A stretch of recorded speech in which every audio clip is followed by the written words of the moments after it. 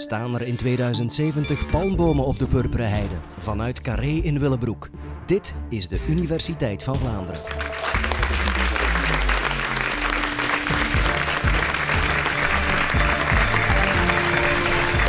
palmbomen op de heide. Hoe exotisch zou dat zijn als onze kinderen, of eigenlijk de kinderen van onze kleinkinderen, kunnen gaan wandelen, tegelijkertijd in de heide en palmbomen zouden zien. Moeten we ons dan inbeelden dat ze schrik hebben, dat er een kokosnoot op hun kop gaat donderen terwijl ze in de heide wandelen?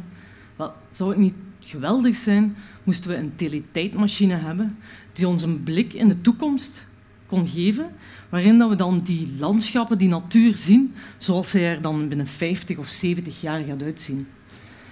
Wel, um, die landschappen, waar ik het nu over heb, ja, die gaan veranderen. Dat weten we bijna met zekerheid, omdat het klimaat met een recordtempo aan het veranderen is. En dat geeft een druk op alle ecosystemen. Of die ecosystemen nu bossen zijn, of koraalriffen, of zeeën, meren, tundra of heide, ze staan onder druk. En die druk die oefent eigenlijk een invloed uit op alles wat er bloeit en groeit en rondkruipt en rondloopt en rondzwemt. Ja? En als dat in de toekomst nog hetzelfde gaat blijven, daar zijn wij eigenlijk benieuwd naar. Ik denk iedereen. Um, dus gaan we in onze achtertuin nog in de heide kunnen gaan wandelen binnen 50 jaar? Wel, wat is eigenlijk die heide? Waarom, waarom die heide? Wel, heide is eigenlijk een cultuurhistorisch landschap dat alleen maar ontstaan is door activiteiten van de mens. En die activiteiten die bleken dan ook nog eens een zeer duurzame manier van landbouw doen. En door die eeuwenlange bewerking van dat land is er ook een specifieke diversiteit, biodiversiteit ontstaan. En dat is eigenlijk een combinatie van dieren en planten, waarvan er een aantal zeer zeldzaam zijn, die we eigenlijk liever niet zouden willen verliezen.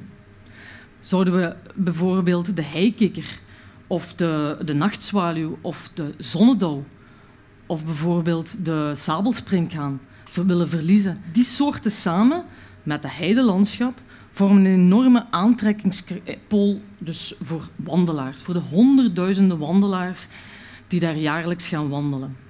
Nu, niet alleen dat, die heide kan ook heel goed het water zuiveren.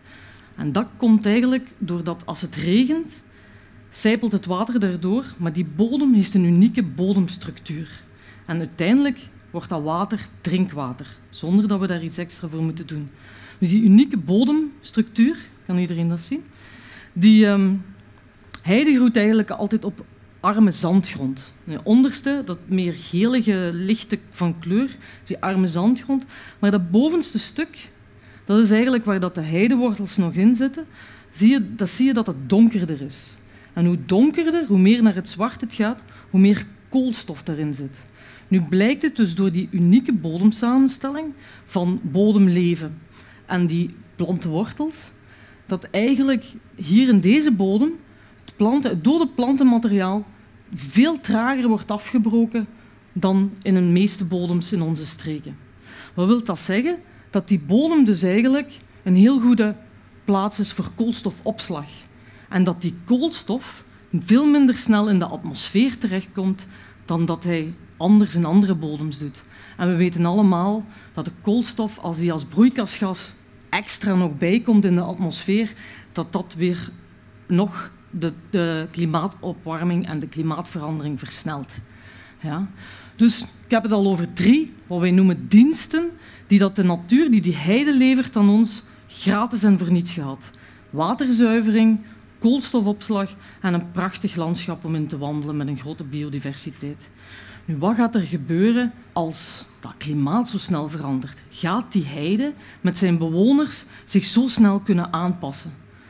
Wat als die, die stress, die druk zo blijft erop gaan dat die heide het op een gegeven moment niet meer aan kan? Dat er eigenlijk een kantelpunt bereikt wordt waar, waarbij de heide onomkeerbaar verandert naar een ander ecosysteem, bijvoorbeeld een ruig grasland. Wat, wat gaat er dan gebeuren? Dat willen we graag weten.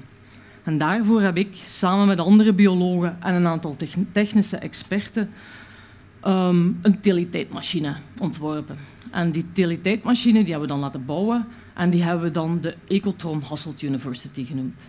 Die ecotron dat is eigenlijk een hoogtechnologisch instrument dat ons gaat toelaten om de effecten van klimaatverandering op de biodiversiteit, zowel boven de grond als onder de grond, te onderzoeken.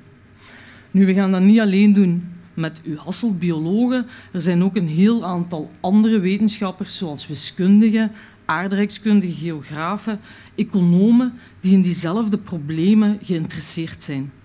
En we gaan dat ook niet alleen met Belgische wetenschappers doen, we gaan ook heel veel internationale experten zijn op dit moment geïnteresseerd om mee te stappen, om allemaal stukjes van de puzzel op te lossen.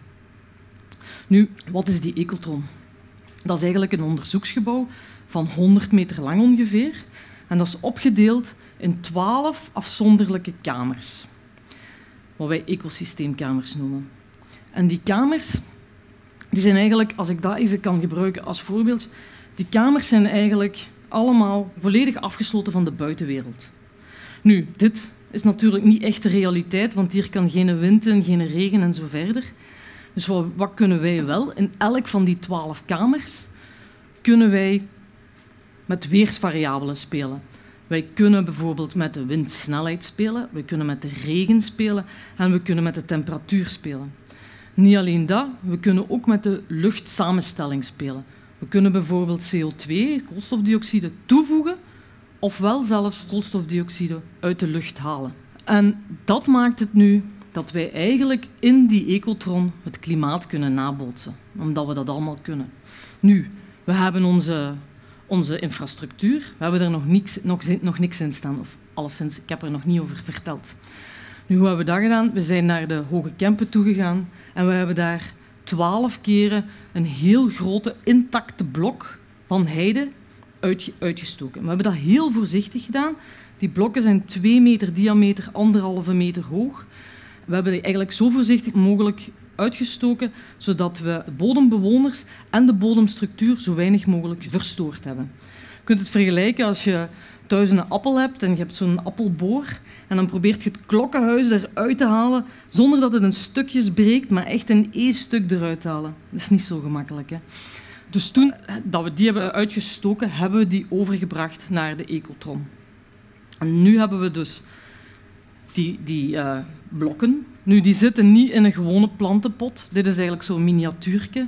Dat zijn eigenlijk lysimeters. Dat is een stalen constructie waarin dat we dan ook in de bodem en op de zijkant een verticaal profiel hebben met, en in dit geval is het maar vier, maar wij hebben vijf, op vijf verschillende dieptes hebben we daar ook meet- en regelapparatuur in zitten, zodat we ook daar weer de temperatuur en de vochtigheid kunnen regelen.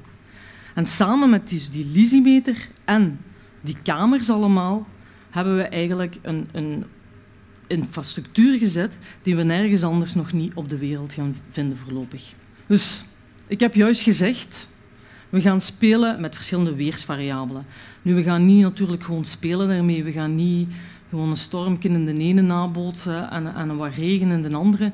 Nee, we gaan bepaalde klimaatscenario's die topklimatologen hebben voorspeld voor deze streken proberen na te bootsen in die ecotron. Ja. Wat gaan we eigenlijk doen?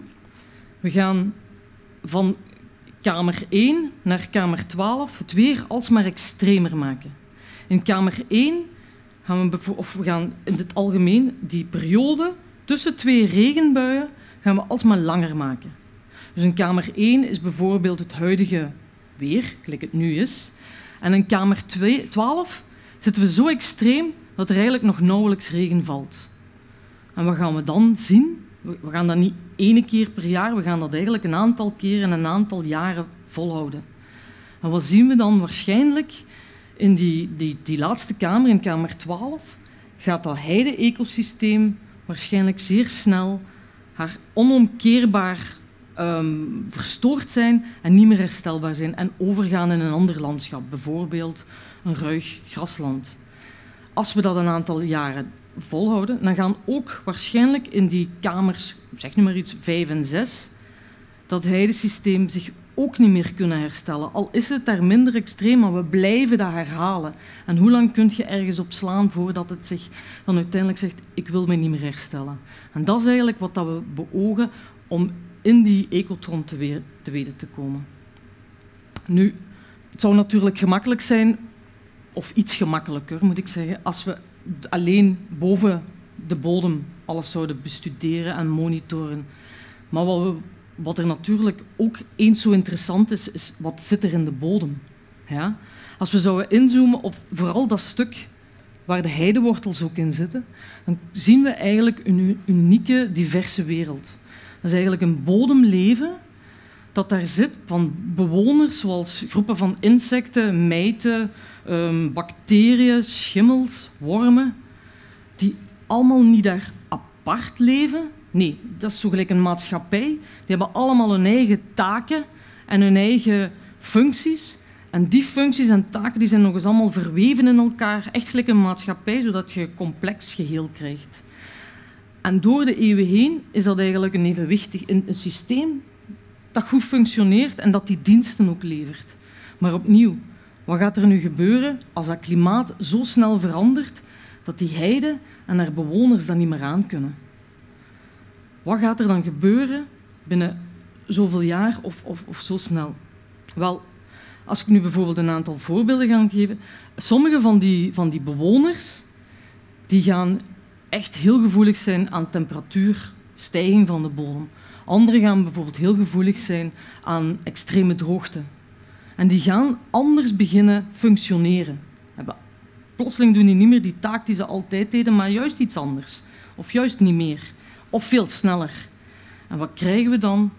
Bijvoorbeeld, en nu ben ik hypothetisch bezig, als, um, ik had het daar straks over die goede koolstofopslag van die bodem.